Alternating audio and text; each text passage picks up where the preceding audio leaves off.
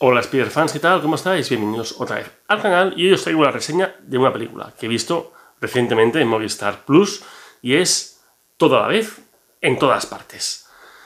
Pues bien, esta es una película sobre el multiverso, pero nada tiene que ver con el multiverso de Marvel, ni de DC, ni más. Simplemente cogen el concepto del multiverso, que no es nada que haya inventado ni Marvel ni DC, ya es un concepto incluso teórico-científico, y bueno, le da una vuelta de, tuerca.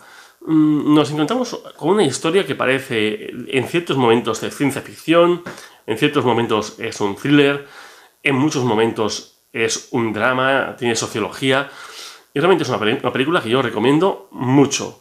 Em, y creo que puede gustar a muchos tipos de personas, tanto a los fans de la ciencia ficción, como a los fans de las películas de acción, como a los que buscan algo un poquito más dramático.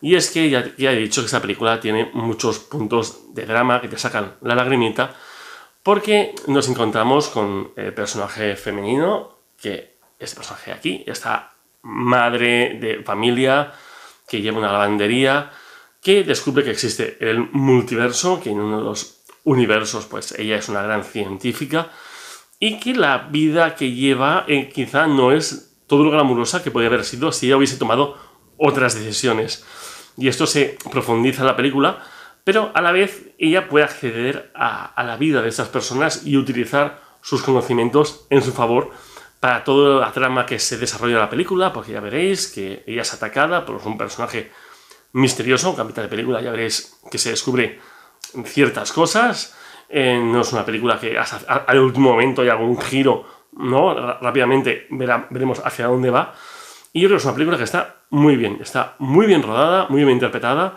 Encontramos, por ejemplo, me hizo mucha gracia, uno de los personajes, el marido de ella, es Tapón de Indiana Jones o, Data de, los Goonies, pero mucho más mayor.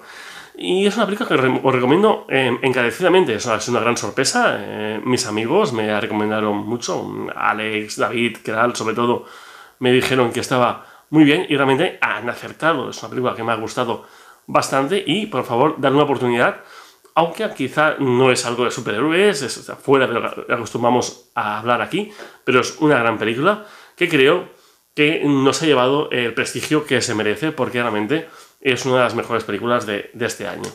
Pues nada, chicos, dale una oportunidad si podéis, toda la vez, en todas partes.